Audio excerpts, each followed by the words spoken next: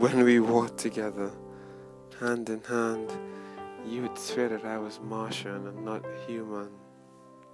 Just the way that people would stop what they were doing just to stare at us.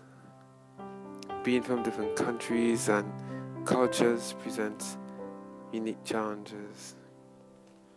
Being separated by 8,000 kilometers of ocean and 12 hours on the clock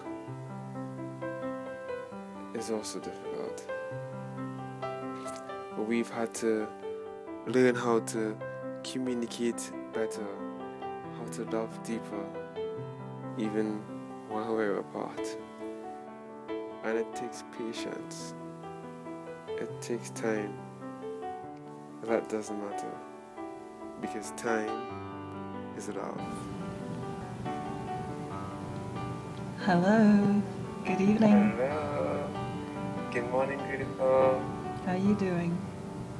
I'm doing well. How are you? I'm good. I had a good night's sleep. Do you have? Awesome. It's really good to see you.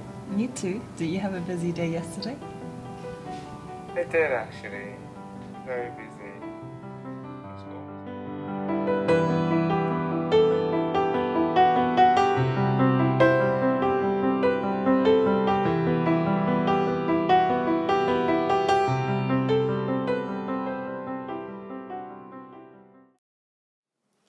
Guys. Thank you so much for watching our video.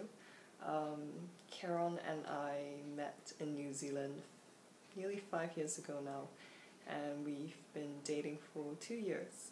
Um, we just got engaged, and it's been a really great journey together. Um, we're from two very different countries and two very different cultures. He is from Trinidad and Tobago in the Caribbean, and I'm from Singapore.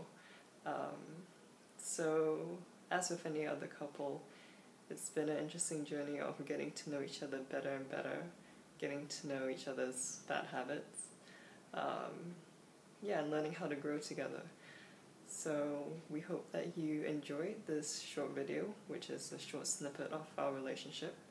Uh, we've been doing long distance for nearly all of our relationship. Um, yeah, so hope that you enjoyed and thanks for watching.